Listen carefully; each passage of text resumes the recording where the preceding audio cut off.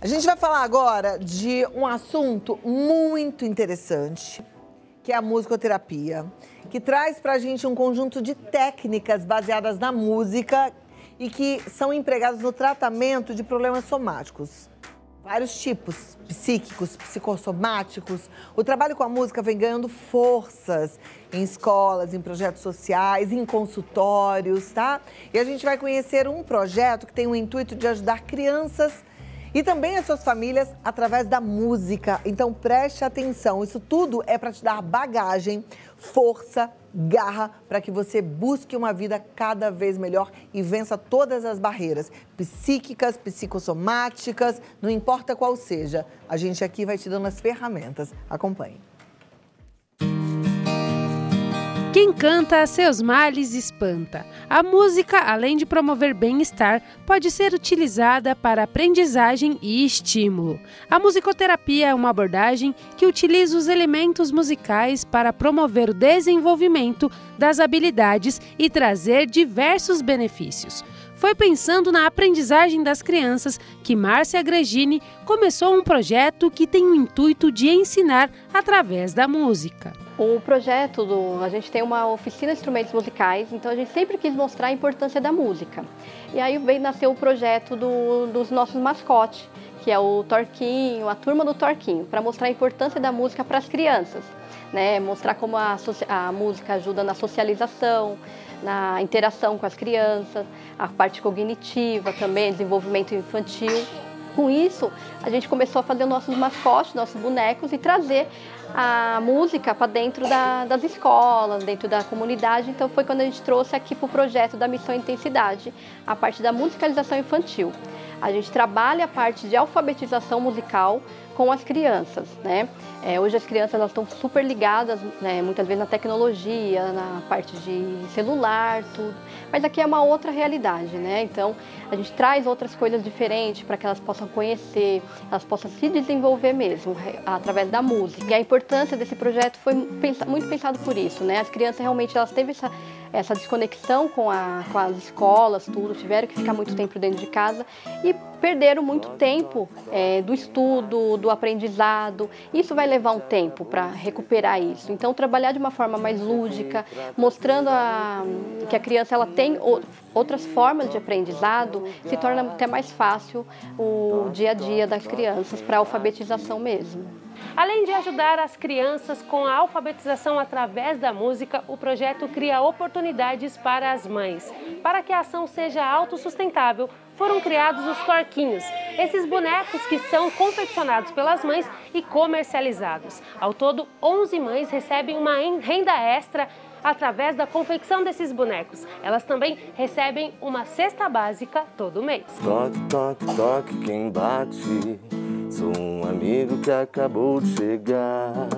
Começamos meio na pandemia, né? A gente é, gravou aulas com professores online, professores de artesanato, ensinando a fazer o nosso mascote, nosso boneco. Aí a gente trouxe mães para começar a fazer esse, esse trabalho. E depois é, a gente começou com a aula de musicalização, também na pandemia. Então a gente vê o crescimento. A Josimari é uma das mulheres beneficiadas pelo projeto. Por enquanto, eu não pretendo trabalhar, trabalhar fora, porque por causa dos afazeres de casa, por causa do meu filho, que é pequeno. Então, eu, eu gosto de dar atenção para ele. Aí, então, para mim é bom ter, assim, que eu não precise, tipo, ter horário fixo de trabalho, que eu posso fazer meu horário. Então, eu, eu por enquanto, prefiro trabalhar dessa forma que eu posso fazer meu horário e que eu precisar atender ele, eu posso sair a hora que precisar atender alguma coisa, necessidade dele, então eu gosto por causa disso. Josimari aprendeu a criar os bonecos durante o curso e agora já faz com maestria. Eu sabia que eu tinha criatividade e que eu sabia costurar a mão e que para mim isso era fácil, só isso que eu sabia. Mas daí depois, tipo assim, que quando veio a primeira professora aqui para ensinar a gente, eu percebi que, que eu ia ter facilidade para fazer. Não sei se é porque eu já sabia costurar. Aí depois a Márcia me pediu para fazer mais dois, que foi que eu fiz a primeira criação deles, né? Que era a Lelê e o Cauê, que é esses bonequinhos havaianos, né? Então esses aí fui eu que fiz, a primeira vez fui eu que formei eles. Eu gosto de fazer. Toque, toque, toque amigo que acabou de chegar. As crianças aprovam as aulas de música. Eu acho que é bem legal, né? E a gente aprende várias músicas que as professoras ensinam e são muito legais. E também tira a gente um pouquinho do celular, né? Porque tem gente que é viciada no celular.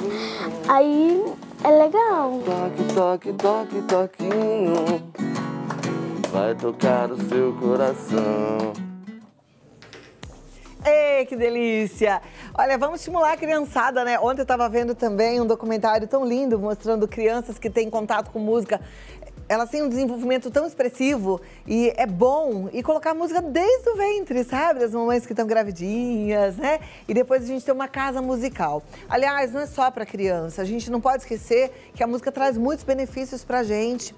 Muitas vezes eu sei que você tá para baixo e não tem vontade de ouvir música mas é justamente nesse dia que você precisa de todos os recursos possíveis. Então, coloca uma música boa na sua casa, uma música que tem uma letra que te coloque para cima, sabe? Que aumente a sua espiritualidade. Isso tudo faz muito bem pra gente. É igual aquele dia que você tá preguiçoso. Tem dia que a gente tá preguiçoso, não tem vontade nem de sair da cama. Talvez seja você assim nesse dia.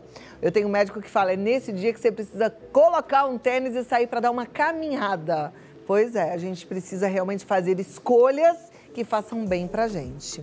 E não o contrário. Aquela história do tipo assim, ah, já não tá legal mesmo, então agora eu vou enfiar o pé na jaca. Isso não tá com nada. Só vai criando uma bola de neve e o que não tava bom vai ficando cada vez pior. O que eu quero é que você valorize o que você já tem de bom e cuide de você com muito carinho e atenção.